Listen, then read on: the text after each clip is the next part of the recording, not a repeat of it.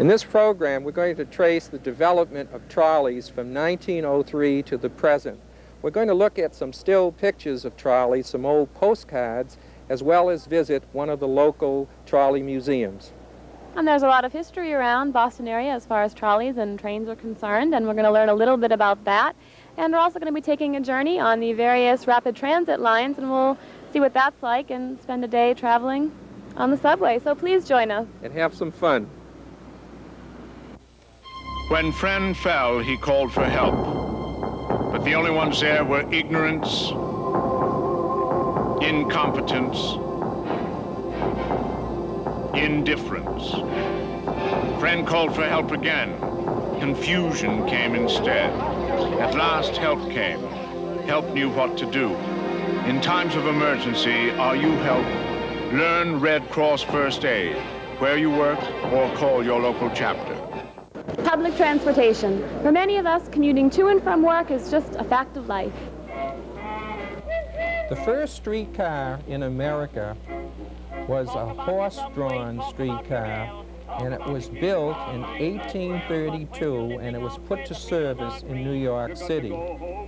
We're going to start our program with a horse-drawn streetcar that was in New Bedford, Massachusetts, around 1872, and that would be the streetcar on the right that's got the name Oxford on it.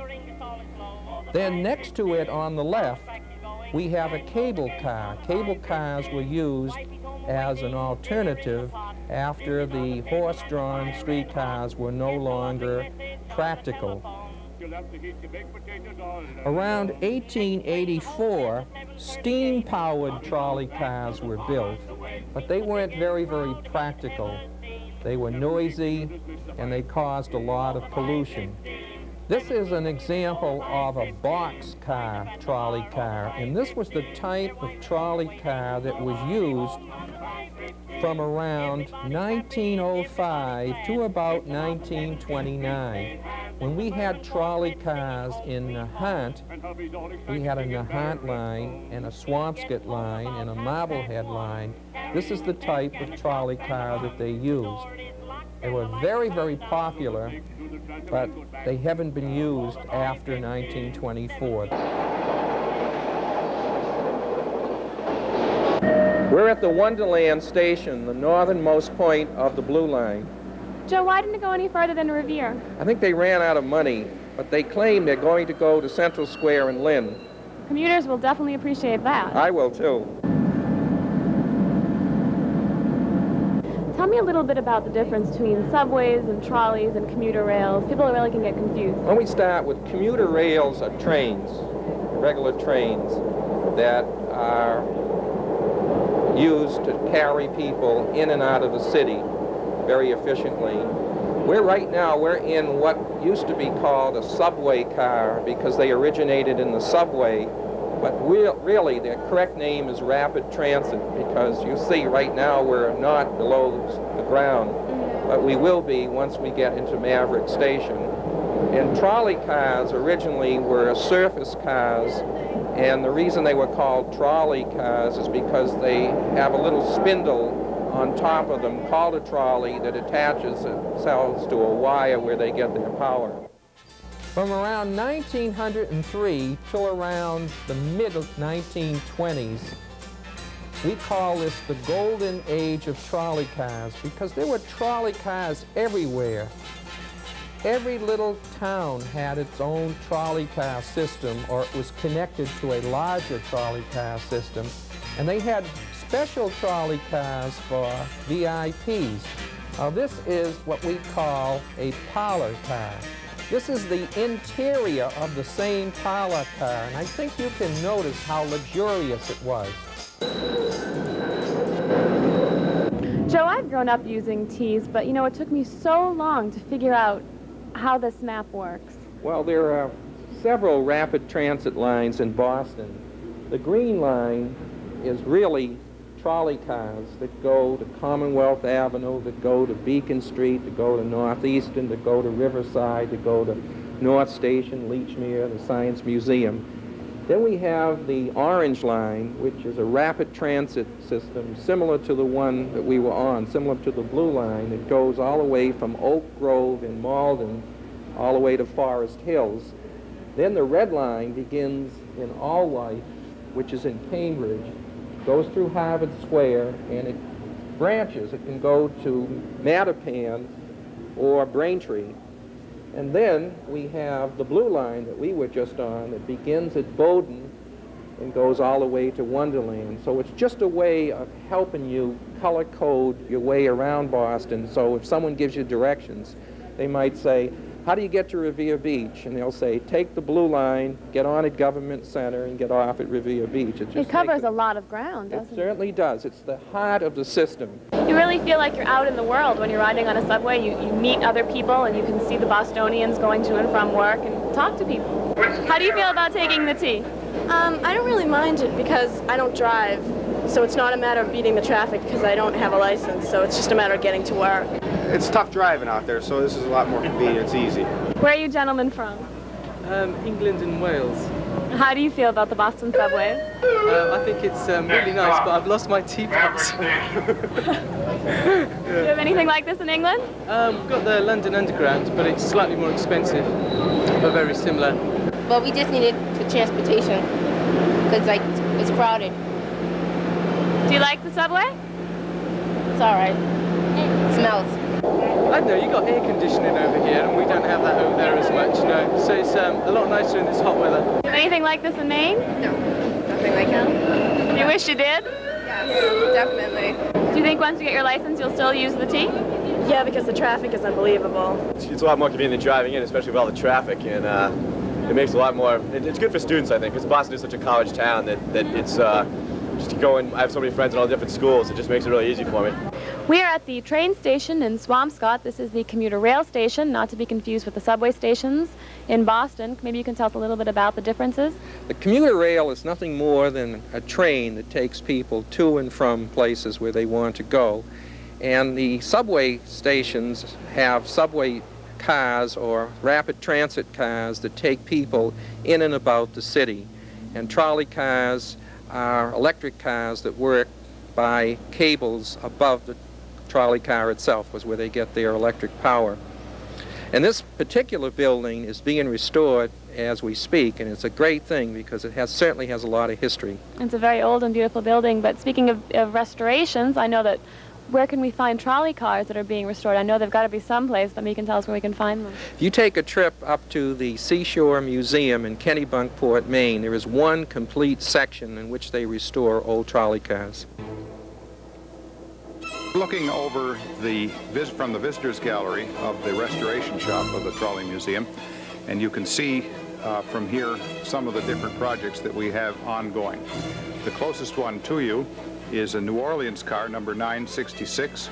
And this car came to us somewhat as a basket case, and uh, we're doing a complete top to bottom job. As you can see right here, we have a new roof. All the boards that you see are new, built over a fairly sound frame. Looking down here in the front of the car, you see a new front uh, down at the bottom. That's called a crown piece, that half round piece, and new posts. And the framing is pretty good cars that come from uh, the south don't tend to have much rust on them uh, from below, as we have here with salt uh, up in New England. You're all familiar with it in your cars. But uh, they have a lot of humidity, and so they rot out from the top. Right over uh, next to it is a car from Dallas, Texas that originally, or that before it came here, ran in Boston on the Mattapan high-speed line, and we're restoring it back to as it was in Dallas, Texas. That's called a PCC car, and that's a fairly modern car built in 1945. Right in front of it, on the same track, I don't know whether you can focus on where it says elevated or not, is a car from the Eastern Mass Street Railway, and they had those in Lynn and Swampscott and all around there. Uh, this particular one last ran in Stoneham in 1945, and it was about our fourth car, and we uh, just finished restoring it after six years. It started July 1981 and was finished July 1987. And it would be operating today except uh, one of its motors failed and we had to pull it out and we'll be sending it down to Boston to be rewound. Just to the right of that car is a car from Brooklyn, and uh, that's also came in in July 1981 and is just about to complete its, uh, well, it's in its seventh year restoration, and hopefully before the seventh year is over, it'll be all done. This car was used originally on the Beachmont to uh, Government Center line, it used to be called Scollay Square. And uh, then in 1920, when the uh, Bay State Street Railway became the Eastern Mass, they sold off their Newport, uh, Rhode Island division, and this car was transferred to the Newport Electric Company. It ran there till about 1926, Newport to Fall River, and uh, then they went to buses, and the car was sold to the uh, Coast Cities Railway in New Jersey, in Asbury Park, New Jersey, and uh, operated there until they uh, began to cut down their lines and went to buses. And then it became a summer camp for 45 years and then was rescued by us. Where, where do you think these cars would have run? Well, I remember them when I was a kid. I used to go from Maverick Station to Revere Beach via Chelsea, and this was the Chelsea line to Revere Beach, and I remember it being very obnoxious. My mother would say, now let's get this streetcar, and I'd say, no, I want to go on the one with the straw seats. Uh, but this is the classic car, a classic New England car. And an interesting thing about this, well, we actually have one, two, three different cars of different types beside each other. This one was called a semi-convertible. And semi, in fact, my mother-in-law from Portland, Maine calls it a semi-convertible shut-open, which was what uh, in Portland they used to call them. Notice this pocket. The window drops down in here. This other one goes up, and that way you can s- semi-convert it to an open car, not completely. The one beside us is a convertible car. I don't know whether you can see that through there or not, but you get the uh, panels, which are for wintertime, or take them out for summertime. Now, this car beside us from Brooklyn is uh, a convertible fully. They can take the sides right off. This one is semi-convertible, and the one behind us doesn't convert at all. You open the windows, and of course the stuff they have nowadays, you don't even open the windows. You suffer with the heat if the air conditioning isn't working. And uh, so you have all, all different types. Uh, ventilation was a problem, and heating was a problem uh, back in the old days, of course. Um, the roof of these is kind of interesting, too. This was what they call a clerestory, and these windows open up uh, let me do it over here. These windows open up with the idea of allowing the uh, hot air to go out. And then there's a little ventilator along the side. Of course, they're not very effective, and I imagine these cars were fairly hot. These are open cars, trolleys, and they used to be used in Lynn, Swampscott, and Nahant up till around 1918. They were not good for the winter naturally because you couldn't be protected against the elements. Eventually, they're going to uh, extend this track to the next town, but right now it, it ends, it's about three miles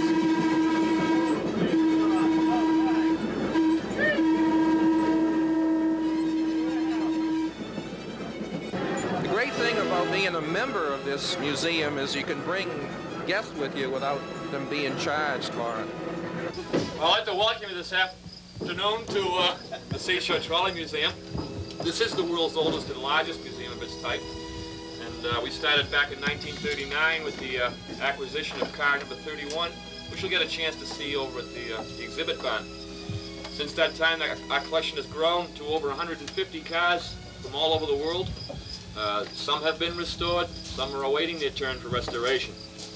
Uh, a trolley car takes a lot of work and money, unfortunately, to, uh, to restore. So we do take them a little bit at a time and as our funds allow. Uh, and you'll see a number of these cars over in the barn. Some we have restored, some are awaiting restoration. Anybody has any questions about uh, anything they see here at the museum or anything about trolleys in general, please, please feel free to ask us. Uh, if we don't know the answer, we'll do our best to try to find the right answer for you. Uh, as I said, we do have a large number of cars here, and uh, uh, quite often people will find that there's, there's a car from their hometown here. The line itself is also a reconstructed trolley line. This was a, a branch of the Atlantic Shoreline Railway. Uh, covered pretty much the southern tip of Maine from Kittery up into this area. Uh, this particular branch ran from Biddeford to Kennebunkport. Uh, they went bankrupt back in the 1920s, if I recall off the top of my head. When they left, they took the tracks, the wires, everything else with them. After we acquired the property, we've been putting the tracks and wires back. So everything you see here on the property uh, uh, is reconstructed by the volunteers here at the museum. Mm -hmm. yeah, we, own, we own the property all the way from here up to uh, up to the town of Bedford, up to the town line. Well, we've got the car ready to go back, and uh, now we need to get the people all turned around. And to keep everybody killing each other, we're going to do this one row at a time, starting with you people. If you just kindly hop to this bench. Watch your kneecaps. Oh, look at them. They reverse like they all type yeah. It's amazing.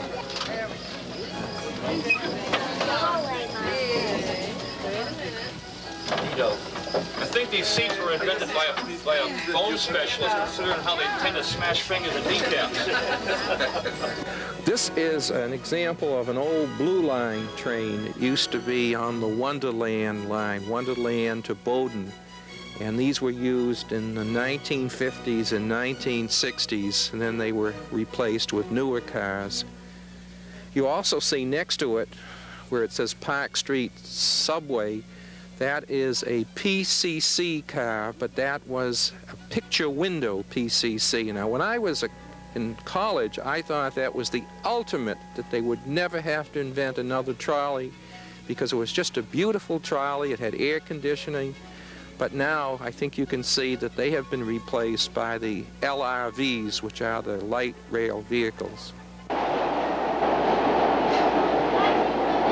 This is a more scenic route. We're on the Red Line and we've just passed Charles River. What can you tell us about that?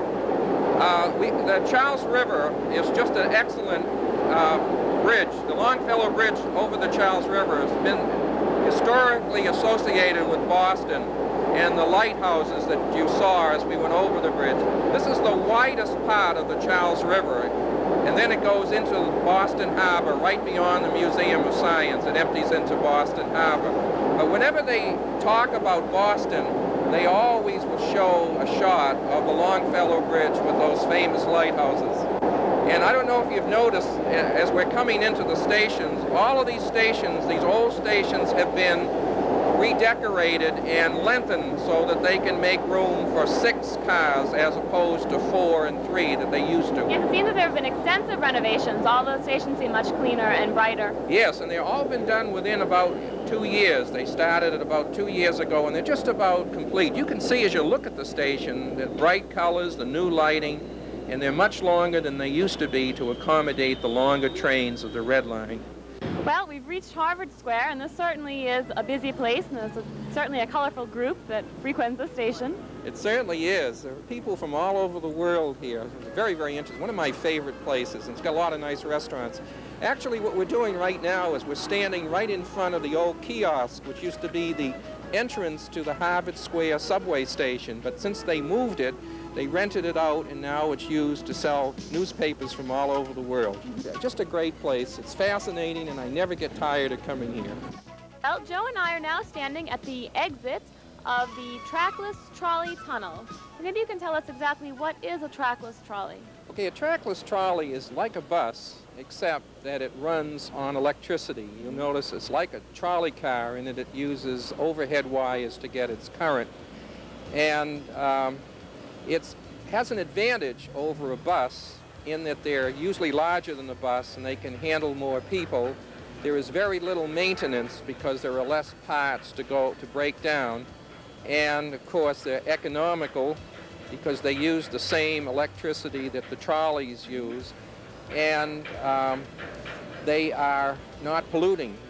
The air isn't polluted. When you, you could have a whole string of these go by and there won't be any problem, whereas if you had about 10 or 12 buses in a row, you'd end up with a definite pollution problem from the diesel fuel. This is a picture of the earliest trackless trolley that was put into service by the Boston Transit Authority in 1936. You'll notice that they're very square looking And they look very much like buses, except they get their power from overhead wires. It's interesting to note that when trackless trolleys were in their heyday, which was around 1955, there were 43 routes. Right now, there are only three routes the North Cambridge Waverly line, the North Cambridge Watertown line, and the North Cambridge Huron Avenue line. From horse-drawn cars to air-conditioned light rail vehicles, trolleys have long been a part of our history. When the Eastern Mass Railway was taken over by the Metropolitan Transit Authority or the Boston Elevated Railway, its predecessor, it inherited a number of these cars, and these cars are referred to as the Eastern Mass 4200 to 4300 class. These were luxurious cars in that they had very comfortable seats and many of them ran on the Revere Beach line from Maverick to Revere Beach. Who did invent the first trolley car? A gentleman by the name of Frank Sprague in 1888 in Richmond, Virginia, invented the first trolley car. How do you think the name trolley came about? Well, streetcar it means that it traveled along the street. And trolley came from the fact that the electric cars, actually what Frank Sprague invented, it was an electric car, got its power from a, a little trolley or it looks almost like a pulley that attached itself to a wire that ran across a wire overhead. And that's where the name trolley came from, the little spindle. This is the second type of trolley that was acquired from the Eastern Mass Railway when the Boston Elevated Railway took it over. These are referred to as the 4400 class, and they were really the most deluxe trolley that the Eastern Mass had. They had deluxe leather upholstery. They were very comfortable to ride in. They were light enough to be used in suburban areas, and in that respect, they were similar to the Type 5 semi-convertible. They ran on the East Boston line from Maverick Station to Revere Beach, and they were also seen in the Wellington Circle line. That was the line now that's occupied or replaced by the extension of the Orange line. These were used until around 1950. This is an example of a picture window PCC. This is the deluxe model of the PCC series of trolley cars. PCC, once again, stands for President's Conference Committee. These were types of trolley cars that resembled buses in appearance, yet they ran on rails and they got their power from a wire above. These trolleys made their first appearance in 1951 and were gradually replaced beginning in 1976 by the LRV type trolleys. LRV stands for light rail vehicles. Now I know today all kinds of people use the T, but were the people always the same? What kinds of people rode the subway then? You got to remember that in the early days, everyone used the subway or trolleys no matter where they wanted to go. If they wanted to go to work, they would use it. If they wanted to go on vacation, they would use it. And that makes a, quite a difference because when the people in those days went to vacation, on vacation, they went on a trolley and they stayed there the whole time. And then they came back at the end of their vacation by trolley or by train. Nowadays, we have a tendency to go on vacation and travel from one place to another and not stay in the same place very long. Now, Swampscott's an excellent example. Up to 1968, when it burnt down, we used to have a resort hotel called the New Ocean House, and people came by train and trolley at the beginning of the summer, and they left by train and trolley at the end of the summer. They spent the whole summer in one place. I noticed today, and, and we spent a lot of time in subway stations and riding the T, that there's quite a culture on subways. There are certain, the people are very are unique, the subway entertainers, and of course you have the, the subway vendors. What do you say about that? Is that a whole different culture? And not only, it also acts as a refuge to homeless people. Well, today we saw a magician and it's not uncommon to see people playing musical instruments and requesting a donation. I find more of that uh, culture now than we did in the past. I would say it's, you, as you said it perfectly, it's, it's a new culture, and I think we could coin the phrase, if it hasn't already been coined, the subway culture. This is an example of the LRV, or light rail vehicle type trolley. These have replaced all the PCC or Presidential Conference Committee trolleys, or another way to say it, they have replaced the bus streetcars or the bus-like trolleys. In most cities that still have trolleys, they use light rail vehicles. They use them, for example, in San Francisco, they use them in Sacramento, California, and in some towns that are still building trolleys, this is the kind that they will have. They have been used on the Green Line since 1976. This is the latest light rail vehicle, LRV, and it was put online by the MBTA in the spring of 1987. Now there are several modifications between this and the one that they had that they put online in 1976. The first thing is that you notice that there is a double window in front and it kind of resembles the PCCs or the Presidential Conference Committee uh, bus streetcars that they used to have. The second thing is that there is an improved air conditioning system. These were made by a Japanese company and they hope to replace all the ones made by the Boeing company uh, very shortly. You'll notice that they don't seem to have a character to them the way the old trolleys used to have. They're very, they're made so that they're almost vandal proof. There's a lot of plastic and they don't have the holding straps that some of the older trolley cars had. This is the newest Blue Line train. They're sometimes referred to as the Bluebells. They were introduced between 1979 and 1981 and are still used on this line. They are very comfortable, but still the interior is very, very plastic.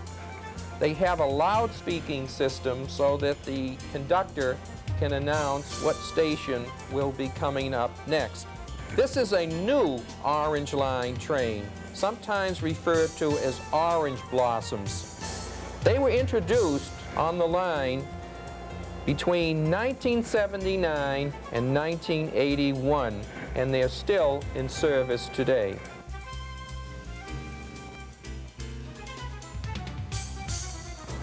I had a fascinating time running the subway today, and we met a lot of interesting and very colorful people. What did you think? I had a great time, and I wouldn't mind doing it again tomorrow. Of course, we don't have to do it every day, so it's kind of a novelty. It's great if you don't have to do it to get to and from work, and you can pick and choose the time which you want to do it. I wish I could have gone to the Kennebunkport Museum. Unfortunately, I was busy when you went. Well, maybe we'll go up again and invite you to come up with us. I'm sure you'd enjoy the I'd like that. I hope you enjoyed the program. I'm Joe Balsama. And I'm Nancy Baldassarre. Thank you very much for joining us.